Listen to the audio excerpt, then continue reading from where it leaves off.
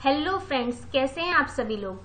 आप लोगों का बहुत बहुत धन्यवाद कि आपने हमारी पिछली दो सीरीज़ को बहुत ही अधिक पसंद किया, जिससे हमें और अच्छा काम करने का मोटिवेशन मिल रहा है। इसी तरीके से आप अपना रिस्पांस देते रहिए और हमारी सीरीज़ को लाइक करिए शेयर कीजिए और सब्सक्राइब करने के साथ साथ बेल आइकन पर क्लिक करना मत भूलिएगा। आइए शुरू करते हैं आज की सीरीज़ का पार्ट थ्री आज की शुरुआत हम अपने चैनल की पंच लाइन से करना चाहते हैं। वर्क स्मार्ट नॉट हार्ड अगर ज़िंदगी में कुछ पाना हो तो तरीके बदलो, इरादे नहीं। और इन्हीं तरीकों को आसान करने के लिए हमारा ये छोटा सा प्रयास, ताकि आप अपने लक्ष्य को पा सकें। तो चलिए शुरू करते हैं आज की सीरीज़ का part three 5000 one liner GK question in Hindi first question है हमारा, पृथ्वी पर दिन और रात होते हैं मतलब किस रीजन से पृथ्वी पर दिन और रात होते हैं? हमारे चार ऑप्शन है। दैनिक गति के कारण, वार्षिक गति के कारण, छमाही गति के कारण या तिमाही गति के कारण। वीडियो को यहीं पॉज कीजिए और अपना आंसर देने का प्रयास कीजिए। चलिए मैं आंसर आपको बताती हूँ। आंसर है दैनिक गति के कारण। जो पृथ्वी में दैनिक गति होती है जो डेली घूमती है पृथ्वी 24 घंटे के अपना एक उसका दैनिक गति होती है, उसी के कारण दिन और रात होते हैं। सूर्य जिस तरफ़ होगा पृथ्वी के, उस तरफ़ दिन होगा और उसके अपोजिट साइड में रात होती है। हमारा नेक्स्ट क्वेश्चन है, भारत के तो स्वतंत्रता संघर्ष के दौरान डेकन एजुकेशनल सोसाइटी नामक संस्था की स्थापना किसने की थी? ऑप्शंस है, जवाहरलाल नेहरू, रविन्द्रनाथ टैगोर, बाल गंगाधर तिलक, व्योमेश चंद्र बैनर्जी। राइट आंसर है, बाल गंगाधर तिलक। ये तिलक की पिक्चर है, जिन्हें लोकमान्य भी कहा जाता था। इनका जन्म 23 जुलाई 1856 को हुआ था और इनकी मृत्यु 1 अगस्त 1920 को हुई थी।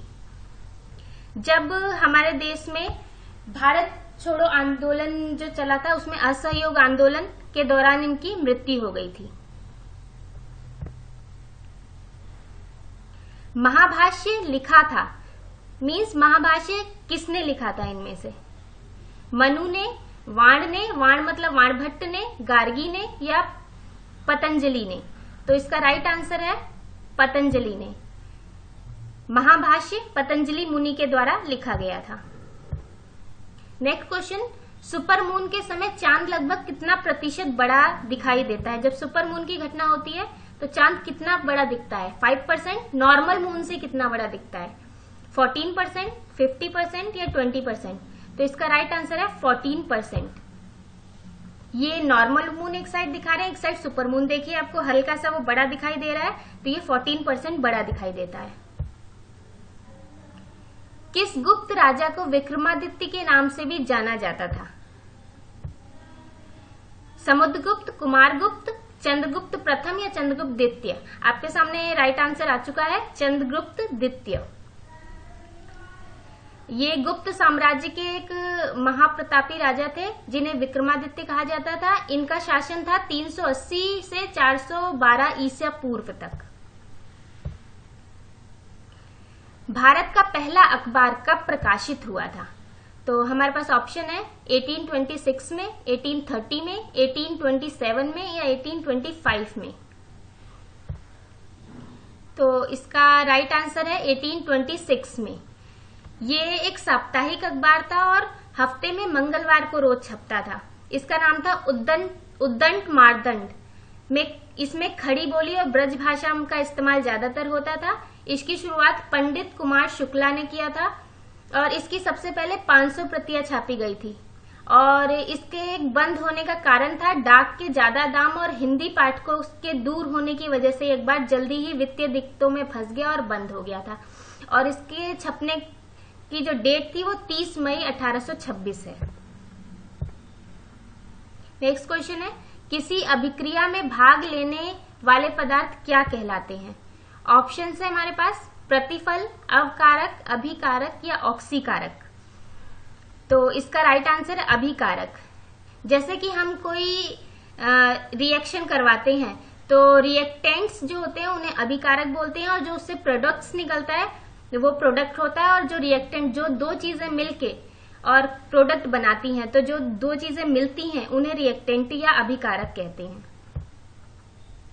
नेक्स्ट क्वेश्चन उत्तर प्रदेश को पूर्व में किस नाम से जाना जाता था? तो इसके ऑप्शन है यूनाइटेड प्रोविंस आर्य प्रदेश अवध प्रांत और उत्तरी प्रांत तो इसका राइट आंसर दीजिए।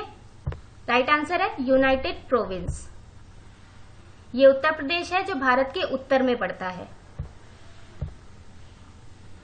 क्वेश्चन नंबर नाइन, आर्थिक क्रियाओं का उद्देश्य क्या होता है? जो इकोनॉमिक एक्टिविटीज़ होती है, उनका उद्देश्य क्या होता है? जीविकोपार्जन के लिए होती है, मनोरंजन के लिए होती है। ए और बी मतलब जीविकोपार्जन और मनोरंजन दोनों के लिए होती है। इनमें से कोई नहीं।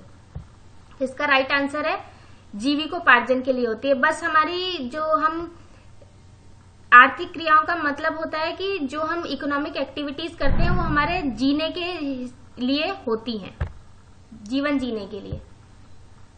अर्जुन पुरस्कार किस क्षेत्र में उत्कृष्टता के लिए प्रदान किए जाते हैं? तो ऑप्शन है सिनेमा में दिए जाते हैं, साहित्य में खेल कूद में, विज्ञान में। इसका आंसर तो आप लोगों को पता ही होगा। इसका आंसर है खेल कूद में दिए जाते हैं। ये इसके डिस्क्रिप्शन है, जो नेशनल स्पोर्ट्स अवार्ड हैं, जो हमारे इंडिया में दिए जाते हैं। वो कौन कौन से हैं? राजीव गांधी खेल रत्न पुरस्कार दिया जाता है, ध्यानचंद पुरस्कार दिया जाता है, अर्जुन पुरस्कार दिया जाता है और द्रोणाचार्य पुरस्कार दिया जाता है। तो ये हमारे पुरस्कार दिए जाते हैं। थैंक्स फॉर वॉचिंग हमारे चैनल को ज़्यादा से ज़्यादा लाइक कीजिए शेयर कीजिए और सब्सक्राइब कीजिए। Thank you very much